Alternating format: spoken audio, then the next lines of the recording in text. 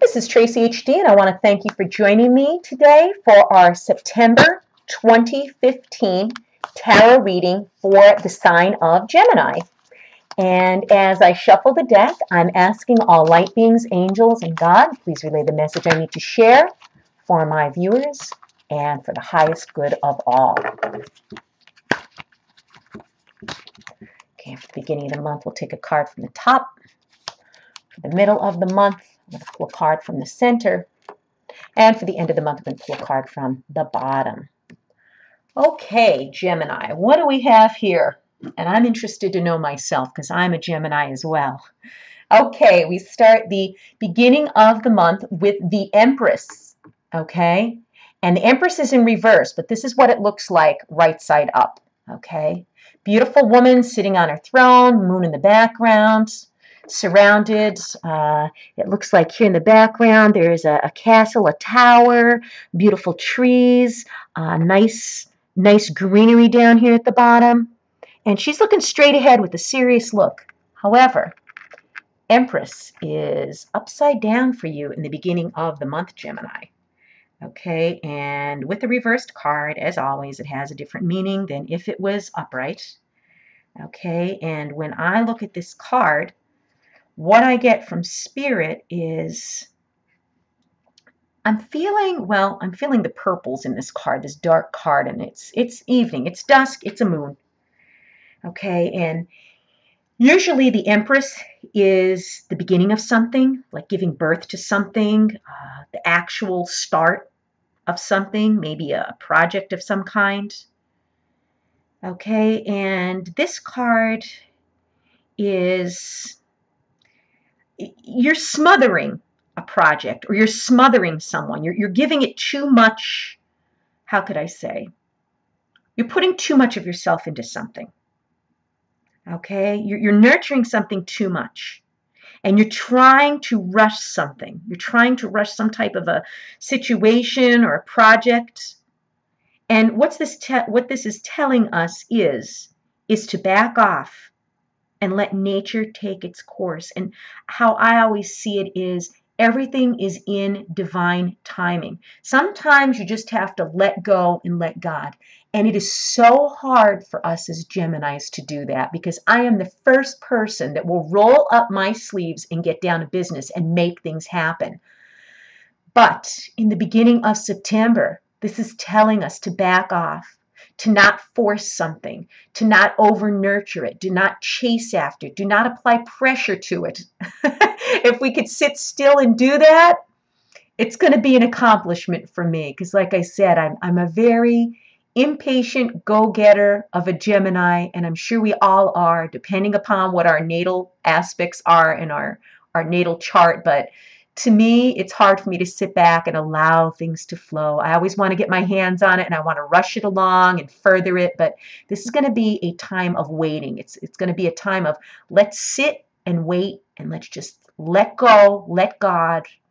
Let's just see how it materializes on its own. It's kind of like putting a, a, a pot on the stove on the back burner. Just let it simmer. Just let it take its time and you know what's going to happen in divine timing of course is always for our best.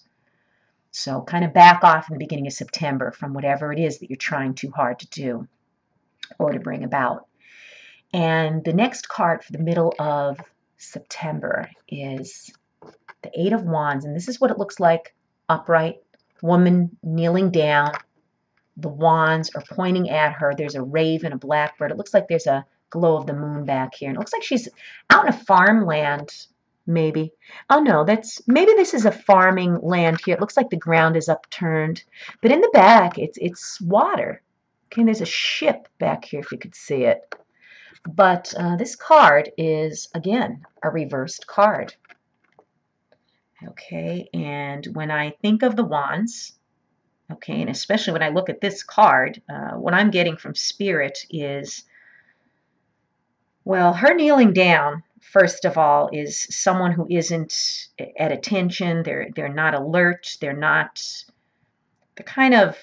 I don't want to say humbled, but I, I guess humbled would be the right word. Uh, this suggests that we're being hasty in some situation. Okay, and we're still moving too fast and not in tune with the energies that surround us. I mean, these swords here are pointing at her. That's energy being directed. Okay, but she's looking away. She's not looking towards the sword, she's looking away. She's not even acknowledging this. Okay, and again, in the beginning of the month, we got to step back and let something take its course. Let something happen naturally instead of forcing it. But here, the Eight of Wands, again, is suggesting that we're being too hasty in the middle of the month. Okay, and that we need to slow down. Okay, we need to slow down. And again, that's easier said than done. I mean, I, I, could be on overdrive all the time. I, I work myself to exhaustion sometimes, and it's not good. And I know it's not good. It's, I guess it's just in my personality, just in my nature to be that way. And the hardest thing sometimes is for us to sit still. Uh, but this card is telling us to, you know, slow down. Okay? Just still let things be. Okay?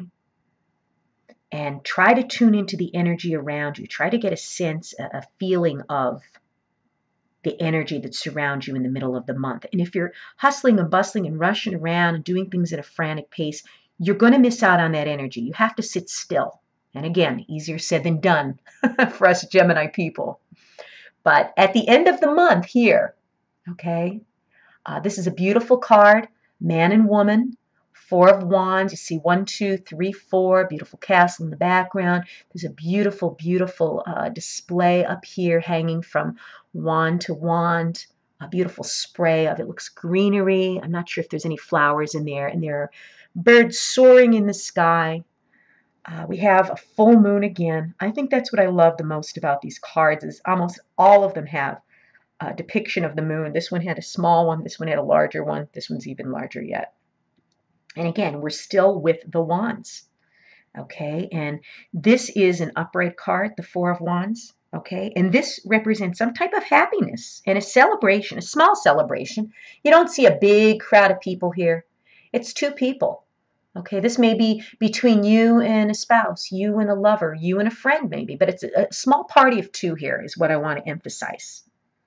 Okay, and whatever you're working on, this card here is showing you success okay? And to take a moment at the end of the month to be happy for the success, okay? Things are looking well, they're looking good, okay? And you, you're laying the foundation for some future thing to build something on. Maybe you're maybe you're building a home, maybe you're you're getting married, maybe you're investing, maybe you're expanding a business, beginning a business, but whatever you had to sit back and let percolate, so to say. Okay, here, pick up on the energies, okay, it's going to be worthwhile at the end of the month.